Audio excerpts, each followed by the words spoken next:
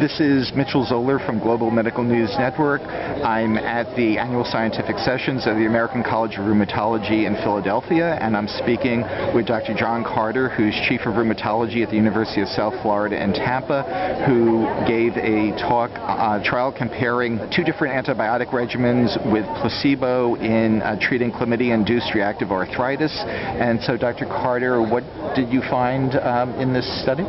So essentially what we did was we, we enrolled patients who had undifferentiated spondyloarthritis. And in order to be randomized to treatment, they had to be PCR positive for chlamydia, either in blood or synovial tissue. So the purpose of that was trying to establish more definitive diagnosis or definitive data that suggests that chlamydia was the trigger of their arthritis. And then if they met the criteria of being PCR positive, then they were randomized into one of three groups. Uh, two of them were two different combination antibiotic groups, and one of them was placebo. It was a double-blind placebo-controlled trial.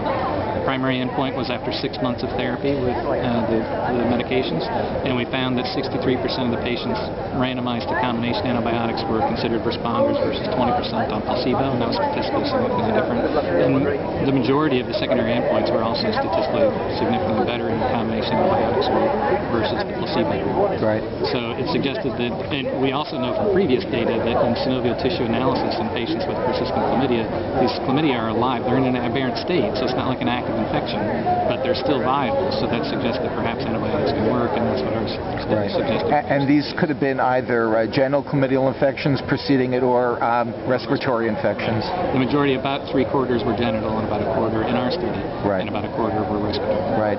And so, do you see these findings of having any relevance to, in general practice, treatment of patients with these kinds of reactive arthritis? Yeah, well, reactive arthritis in, is generally, I think, underdiagnosed. Um, if you, you know, do the epidemiological data, it suggests that the annual incidence might be as high as rheumatoid arthritis, but certainly we don't diagnose it as much as rheumatoid arthritis.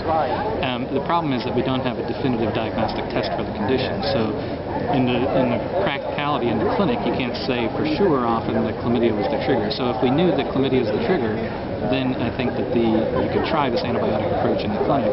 But oftentimes the infection can be asymptomatic. The patient may not admit to having the infection. You may not ask the question. So oftentimes we just don't know. And in patients that you're not sure if chlamydia is the trigger, then I think the data's a little bit not quite as convincing whether or not you should try it. I think if they have the arthritis that fits the category and if they have a history of chlamydia at any point, really, then I think that's probably enough data to suggest that you should try this treatment. This is Mitchel Zoler from Global Medical News Network.